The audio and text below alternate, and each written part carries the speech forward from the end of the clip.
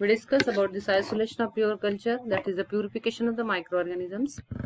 तर मायक्रोऑर्गॅनिझम जे आहेत these are found in nature तर निसर्गामध्ये आढळतात जसं सॉइल एअर अँड वॉटर आणि यांचं स्वरूप जे आहे ते मिक्स्ड पॉप्युलेशनच्या स्वरूपामध्ये ते आढळतात आणि these micro organisms causing various types of the diseases to the plants and animals आणि हे खूप जास्त संख्येने असतात मायक्रो ऑर्गॅनिझम्स आणि कशासाठी आवश्यक आहे pure culture that is to study the specific role played by a specific micro organism there for this pure culture it is required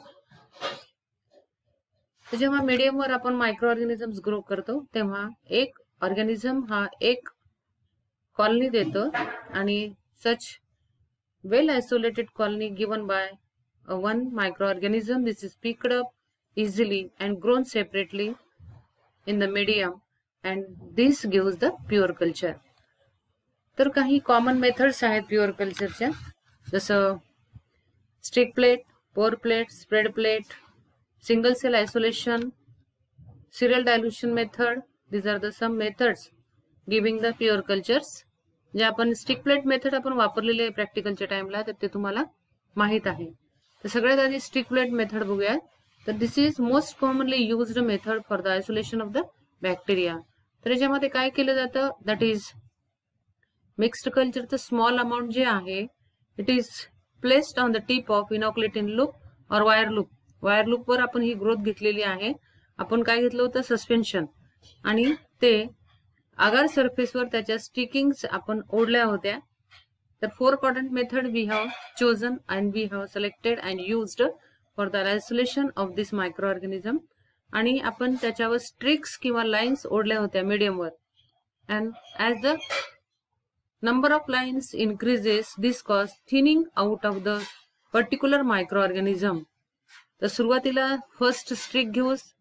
A large number of the micro organisms in the form of the band and as the lines increases then this cause dilution of the micro organism and after incubation the one microorganism gives one colony and this colony it is picked up and inoculated into the fresh media and this is giving the pure culture तर ह्या अशा वेगवेगळ्या पद्धती आहेत स्टिकिंगच्या ही पण पद्धत वापरू शकतो ही this is zigzag method this is another method तर ही पद्धत आपण वापरलेली होती ही अशी फोर क्वाड्रंट अशा लाईन सोडल्या नंतर शेवटच्या लाईनवरून इकडं शेवटच्या लाईनवरून या साईडला शेवटच्या लाईनवर इकडे ओढल्या होत्या. तर अशा पद्धती आहेत. ही सुद्धा पद्धत आहे स्टिकिंगची ऐकायला येते का? यस टाईप करा.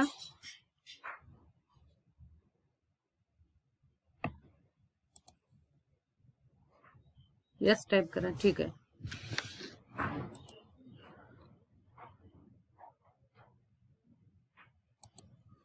Next method pour plate method तर याच्यामध्ये जे डायल्युशन्स आहेत तर हे जे डायल्युशन्स आहेत these are made in the melted agar medium तर पहिलं जे सॅम्पल आहे त्याचं एक लूप घ्यायचं आणि मेल्टेड अगार मीडियममध्ये त्याला मिक्स करायचं.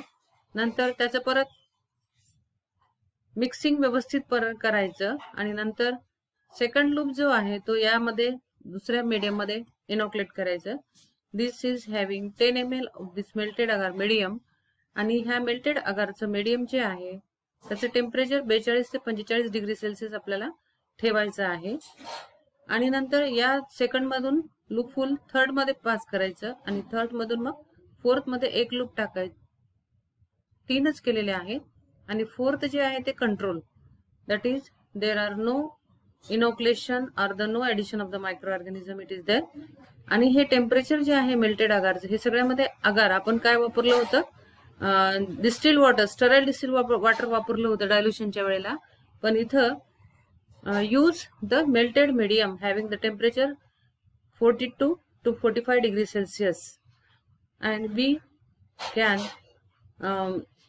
face this temperature म्हणजे आपण हे टेम्परेचर सहन करू शकतो. आणि हे इतकंच का टेम्परेचर ठेवायचं? Because below this temperature there occurs the solidification of the agar. बेचाळीस ते पंचेचाळीसमध्ये त्याचं सॉलिडिफिकेशन होत नाही मेल्टेड कंडिशनमध्ये राहतं. नंतर हे मीडियम जे आहे आपल्याला प्लेट्समध्ये स्टराईल पेटी प्लेट्समध्ये टाकायचं आहे. आणि नंतर दिस आर इन्क्युबेटेड तर हे फर्स्ट डायल्युशन एका स्टराईल प्लेट प्लेटमध्ये दुसरं डायल्युशन दुसऱ्या स्टराईल प्लेट प्लेटमध्ये तिसरं जे आहे तिसऱ्या स्टराईल बॅटरी प्लेटमध्ये टाकायचं आहे. व्यवस्थितपणे याचं मिक्सिंग करायचं आहे आणि याला कव्हर करून इन्क्युबेशनला ह्या प्लेट्स ठेवायच्या आहेत. After incubation development of the colonies आणि हे single colony it is the pure culture and नंतर मग हे ह्याला उचलायचं आणि फ्रेश मीडियममध्ये टाकून द्यायचं. And this is giving the pure culture हे कंट्रोल आहे कंट्रोलमध्ये एकही ऑर्गॅनिझम नाही आणि ह्याच्यावर ग्रोथ येणार नाही. एक कॉलनी जी आहे ती एका ऑर्गॅनिझमपासून तयार झालेली आहे.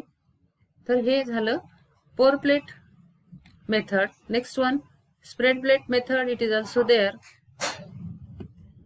ह्याच्यामध्ये अगर मीडियम जे आहे वापरायचं नाही याच्यामध्ये स्टराईल डिस्टिल वॉटर किंवा सलाईन जे आहे ते वापरायचं आहे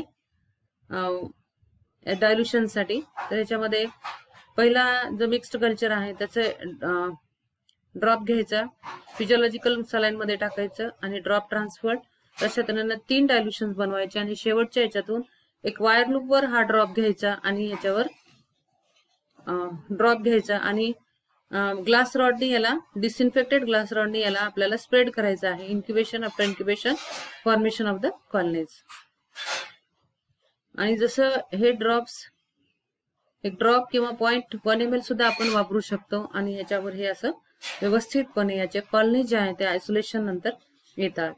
Next method serial dilution method it is also use for the isolation of this bacteria आणि series of the dilutions are there आणि समजा ten M L liquid medium containing one thousand M L microorganisms म्हणजे याच्यामध्ये organisms किती राहतील?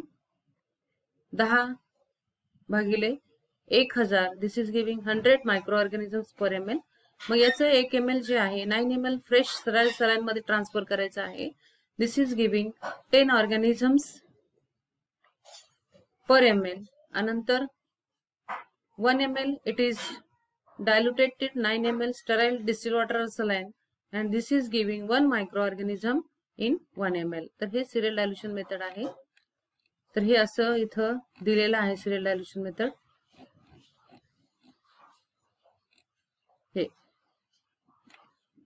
This is the